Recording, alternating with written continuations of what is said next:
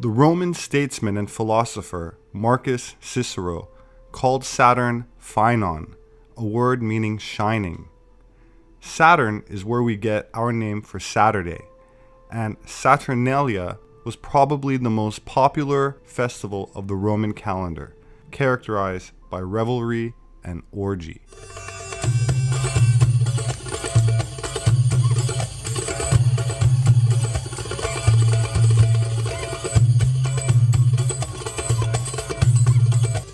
Jupiter was called the son of Saturn. The tale of Zeus or Jupiter and Kronos or Saturn is quite well known. Kronos, who had castrated his own father, Uranus, with a sickle, swallowed all his children by Rhea as soon as they were born, for fear that one would overthrow him. That was until Rhea contrived to smuggle the infant Zeus away. He grew up on Mount Ida, suckled by a goat, and grew up to overthrow his father. Saturn, with his sickle, was associated with the harvest, the passing of seasons, of a timeless era of plenty and bounty before time, a golden age. His devouring of his children taken as an allegory for the passing of generations. That Zeus was spared this fate of being devoured can be interpreted as his generation not being devoured by time, but instead everlasting, like the evergreen tree used now as the Christmas tree, green year round. Christmas being the modern version of Saturnalia, the traditional time of rebirth and renewal, when the shortest day of the year and the longest night is passed after the winter solstice, and the days start becoming longer again. The solar year is reborn, like a phoenix, or later the eagle, the sign of Jupiter, the planet that has a 12 year cycle passing through the 12 houses of, or constellations of the zodiac. Saturn takes 28 to 30 years to complete a full cycle. Because Saturn is a symbol of wisdom, which grows with age, its cycle has been seen as particularly important in reflecting our development.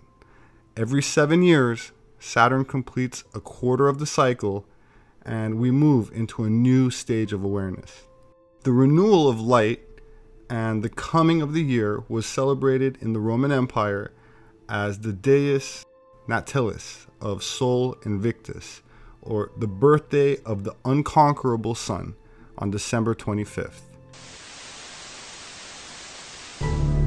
In the Northern Hemisphere during late December, the days are at their shortest lengths and the nights are at their longest.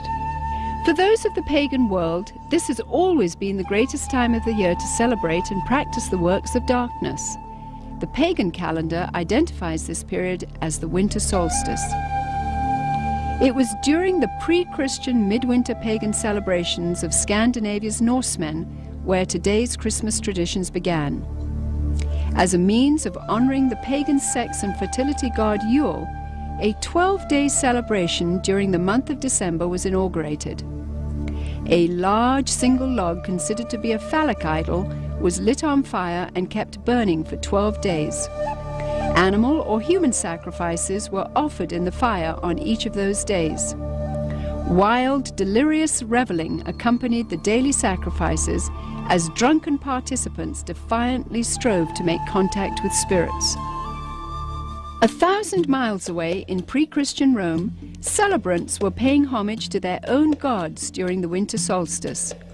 Witchcraft traditions hold that a number of pagan gods were given birth during this period, including Dionysus, Attis, and Baal, chief male god of fertility and licentiousness. Another pagan god from Persia, identified as Mithra, was said to have been born specifically on December 25th. Mithra was the god of the unconquerable sun, the god of the light between heaven and earth, worshipped at that time by an influential Roman cult. His birth symbolized an end to the long nights and a return to the dominance of the sun. During the month-long winter solstice celebration, courts in Rome were closed. Any and all crimes were allowed. Homosexuality, cross dressing, and uncontrolled debauchery reigned supreme. Rome's order was turned upside down. Even children were allowed to join in the drunken orgies as part of the Juvenalia celebration. By 270 AD, the Roman Emperor Aurelian had made it official, setting aside a seven day period from December the 17th through the 24th, culminating in an exchange of gifts on December the 25th to celebrate the birth of the sun god. This Roman orgy to end all orgies later became known as Saturnalia, in honor of the god Saturn, the god of excess. Roman soldiers invading Britain brought with them their pagan orgiastic traditions. Upon taking root in England, Saturnalia became known as the Festival of Fools reigned over by the Lord of Misrule. By the 4th century, the influential government-sanctioned Church of Rome unable to outlaw the growing number of pagan practices, chose instead to adopt them into their so-called official Christianity. The church believed this would attract more pagans to their fold. Up until this time, the birthday of Jesus Christ, the Jewish Messiah, had not been celebrated at all. Ignoring scriptures, however, indicating that the birth probably did not occur during the winter, the church nevertheless confused biblical history and made Jesus' birthday coincide with the pagan god Mithra. The birth date of the sun god had now become the birth date of the Son of God. It was hoped that the pagan celebrations of Saturnalia would merge into this new legally sanctioned form of Christianity. The Church's practice of changing the dates of Christian events to coincide with pagan festivals continued, and by the 7th century, Pope Gregory I had ordered Augustine of Canterbury to incorporate any and all pagan practices and customs into the expanding Roman Catholic Church. During the Middle Ages, the debased Mardi Gras atmosphere of what was now known as Christ's Mass had reached a fevered pitch. Common practices included open sex in the streets, rioting, murder, and a number of pagan druidic Halloween rituals. This blood-drenched celebration got so out of hand that by 1652, following the execution of King Charles I, Christ's Mass was finally outlawed in England. A religious reform movement began sweeping the country led by Puritan Oliver Cromwell. The Puritans took the biblical mandate seriously, which commanded that Christianity remain pure and separate from paganism. Despite their noble efforts, the celebration simply went underground, and by 1656, after only four short years under the ban, the public's demand for the legalization of Christ's Mass had become insurmountable. The appointment of Charles II to the throne restored England's monarchy and with it the celebration of Christ's Mass. The Puritans had lost England, but they held high hopes for the New World. Following England's lead in 1659, the colonies of America had likewise outlawed Christmas. For 200 years, the clergy in New England battled to keep the riotous celebrations honoring the pagan god Saturn from infiltrating the New World. The Reverend Cotton Mather had warned in a Christmas Day sermon in 1712 Can you, in your conscience, think that your Holy Saviour is honoured by hard drinking, lewd revelling, and by a mass fit for none but Bacchus or Saturn? But the public's taste for sin and revelry persisted. In 1828, gang rioting during the Saturnalia-like Christmas celebrations got so bad that cities such as New York were forced to institute a professional police force for the first time in order to control the savagery. Christmas was not only not widely celebrated. In many cases, uh, many places, Christmas celebrations were actually outlawed. By the mid-19th century, American churches were the last remaining holdout in the war against the validation of Christmas. However, they too finally succumbed as a result of the efforts of the American Sunday School Society, who began advocating Christmas programs for children as a method of filling the pews. The Society argued that children could be taught about the birth of Christ through the reenactment of the Nativity. They also offered candy and treats to the children as a means of enticing families into accepting the holiday despite its notorious history and blatantly pagan roots. The successful technique of bribing children with candy would later be used on an unsuspecting American populace in the effort to promote the acceptance of the pagan rituals of Halloween. However, it was the work of England's most popular writer, Charles Dickens, whose ghostly 1843 book, A Christmas Carol, cemented the Christmas holiday in the hearts of Americans forever. By 1875, the Puritans had been beaten, and by 1890, all American states had voted to make Christmas a legal holiday. Today's tradition of the Christmas Yule log stems directly from the worship of the pre-Christian Scandinavian fertility god Yule.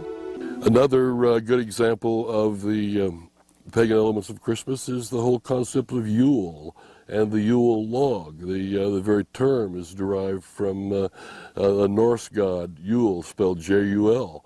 And uh, uh, every year around Christmas time, a huge log was uh, uh, cut down and uh, fashioned into a fertility symbol and then burned for 12 days. And on each successive day, a, a, a, new sacrifice to the god Yule was performed uh, uh, in the fire, and a new sacrificial victim was uh, was burned to death. sometimes, but not always, the sacrificial victims were human beings. Mistletoe, when used in the casting of Wiccan or Druidic spells, could render a woman helpless and open to sexual exploitation. This is where we get our custom of hanging mistletoe in doorways today, and if a woman is caught underneath, she may be kissed and must not resist. The fir tree, uh, the mistletoe, uh, all of these things uh, typically uh, are uh, come from uh, overtly pagan traditions, in typically in, from Northern Europe, German, Norse, and uh, English.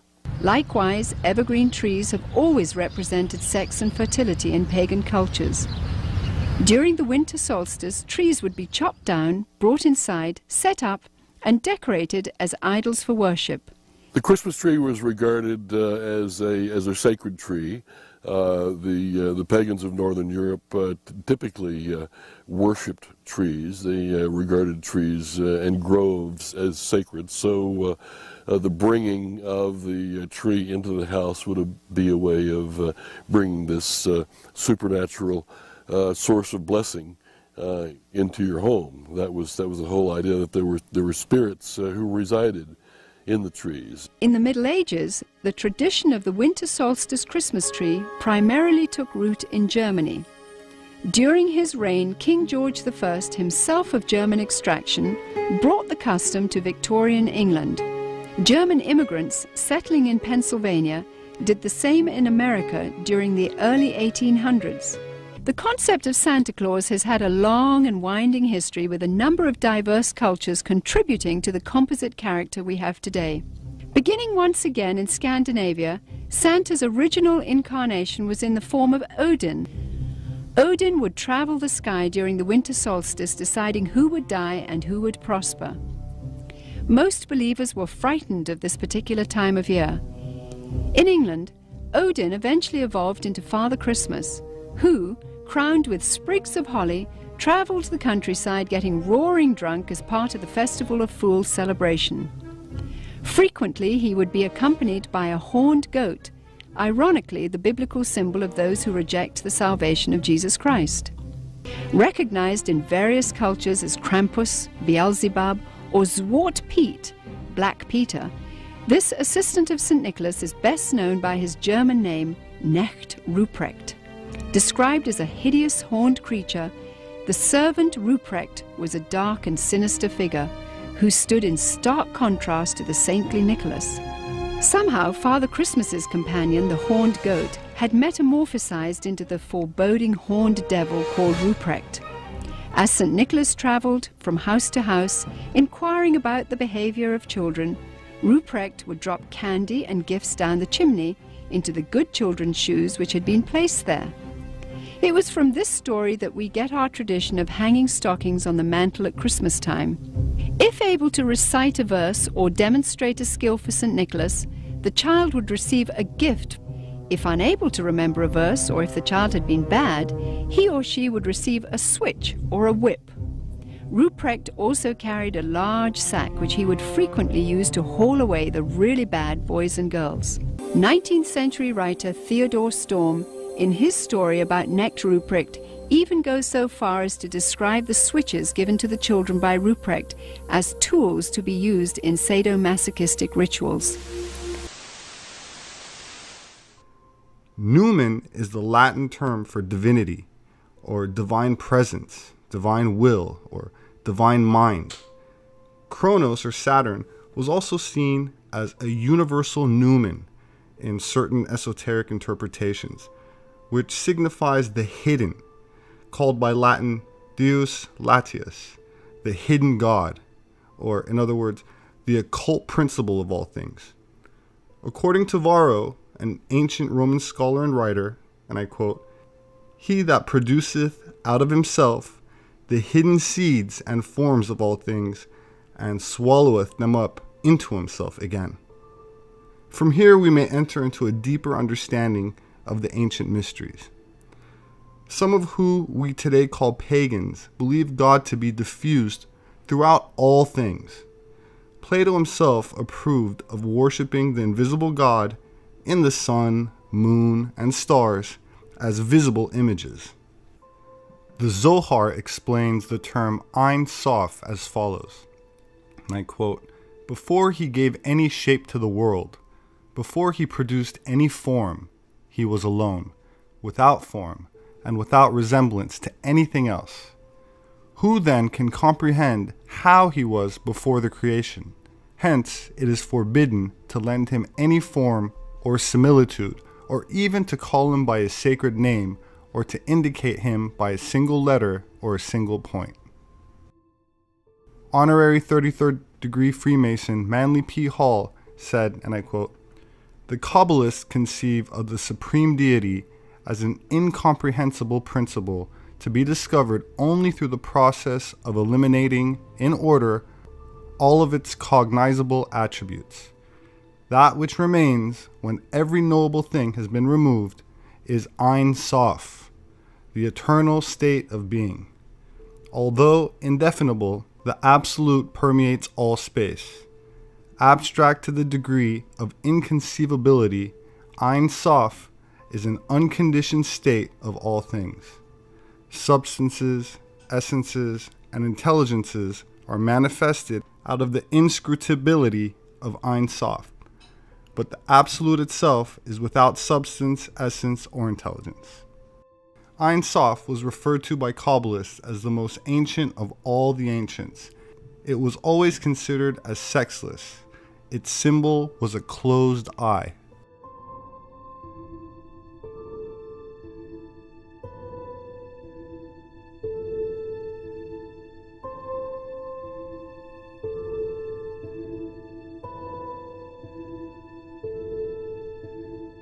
According to the Kabbalah, Ein Sof Or is the limitless light, an empty, black, silent void that expands itself into boundless proportions, filling itself with metaphysical substance various philosophers have named luminiferous ether or an electromagnetic azoth. This liquid light substance is an invisible, electromagnetic, radiant energy its vibratory emanations are far too subtle to be perceived by or through any of our dense senses. Being an invisible black light, 6,000 years ago, the high priests of ancient Egypt declared, Behold, our God is a black God, too brilliant for mortal eyes. This might help to explain not only the black Osiris, but also the Black Madonna, the Black Kali, and other deities associated with darkness. That said, the white Osiris is the manifest physical universe we perceive and which the Bible calls day. Modern physicists now declare physical substance fundamentally to be comprised of a light substance in vibration. They have yet to declare just what this light vibration might be, however. The smallest physical particle for years has been known as the quark. More recently, an even smaller particle has been revealed, and this science is labeled dark matter. Ein Sof Ur is that dark matter. The night or dark matter is the ocean of black liquid light, a living, omniscient, omnipotent, omnipresent substance permeating every aspect of all manifest and unmanifest levels of experience. It is absent nowhere, filling all space, filling mineral, vegetable, animal, human kingdoms, and kingdoms beyond. A continuing emanation. Every point exudes its own light and life. Alchemists call this their universal first matter, universal mercury. This is the substance of creation from no thing. The Hindu equivalent to Ein Sof Ur is Mula Prakriti, the root matter. Alchemists from all periods have given it any number of different names, but the principle, one designation, has always been simply water, but a permanent water. My name is Robert Sepehr. I'm an independent anthropologist and author. My books are published on Amazon.com. Please consider making a donation to Atlantean Gardens if you'd like to support my work. Thank you for sharing this video and subscribing if you haven't already. Please leave a comment and I will see you next time.